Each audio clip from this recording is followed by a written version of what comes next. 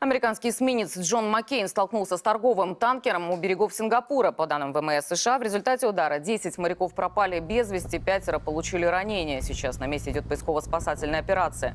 У самого военного судна повреждена левая часть кормы. Тем не менее, оно своим ходом движется в ближайший порт. Кроме того, чудом удалось избежать утечки топлива. 12 тонн мазута находились на борту второго участника аварии. Причины столкновения пока неизвестны.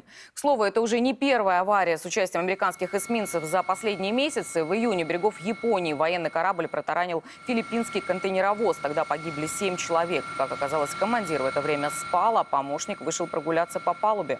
Обоих в результате уволили.